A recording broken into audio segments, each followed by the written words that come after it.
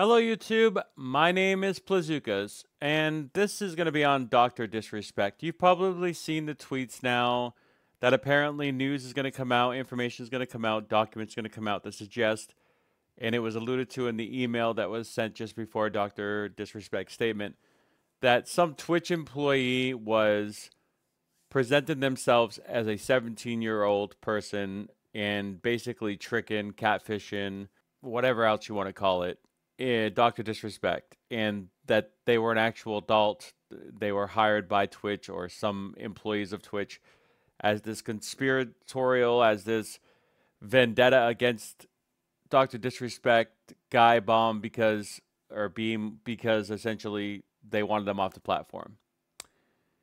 And even if that is the case, it is indefensible. Okay? And here's why.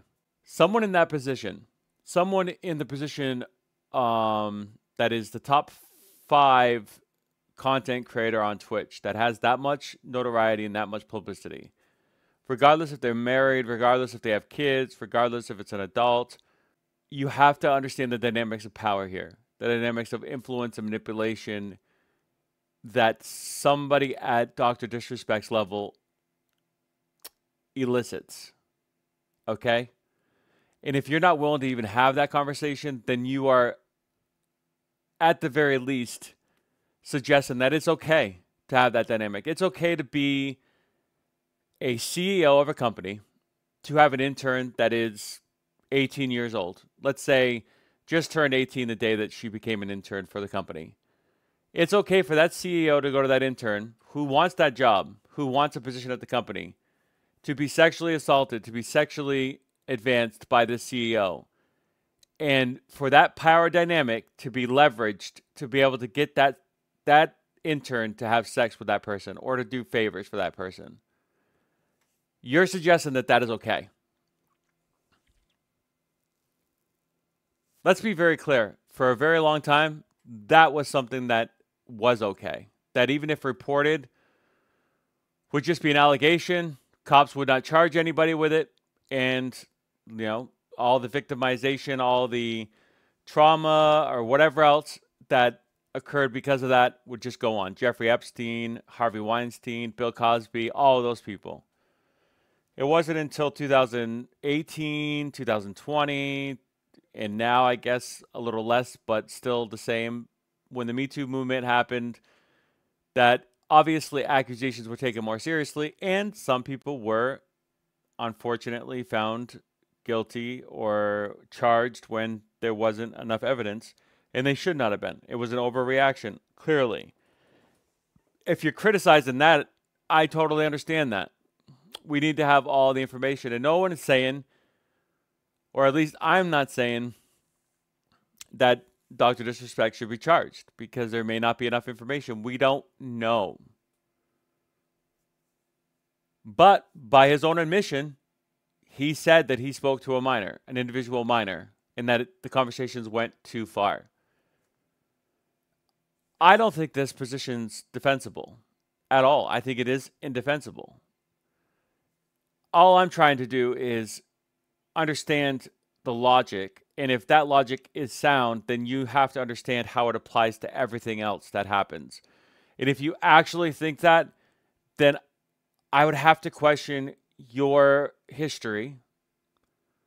Are you yourself a predator? I know that's not the right logical conclusions, but I have to think about this. I think if you're in a power dynamic yourself, a CEO, um, a business leader, uh, a business owner who leverages your power, your influence over somebody else, if that continuously happens on a daily basis, and like you are obviously entitled to your opinion, but and it technically it's not illegal until there is a victim and so if nobody comes forward and you know accuses you of anything then it's not illegal even though it is illegal to sexually harass sexually assault somebody.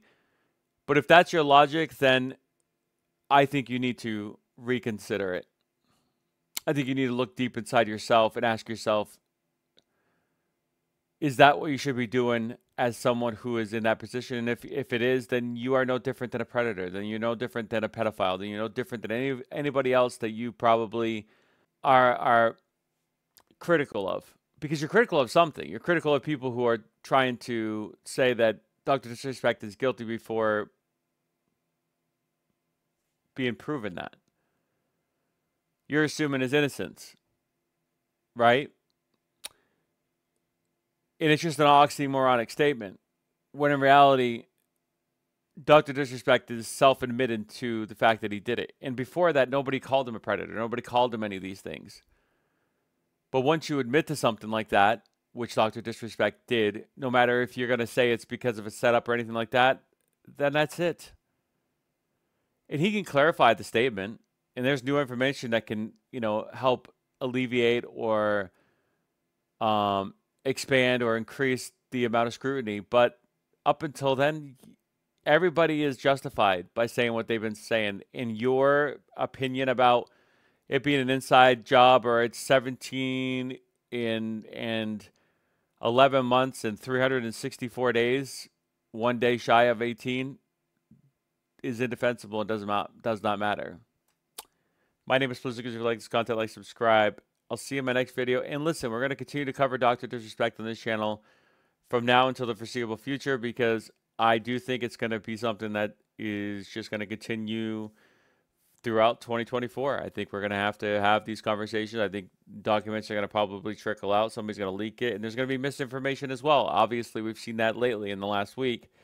Whether that is being orchestrated by Dr. Disrespect's camp, like the email that got basically leaked before Dr. Disrespect's statement that had this allegation, this conspiracy theory, so that now it can kind of live on in the internet webs. Um, we'll see. And uh, hopefully, I'll be here to cover it all and try to be as fact checky and clear as possible. But my name is Plazookas again.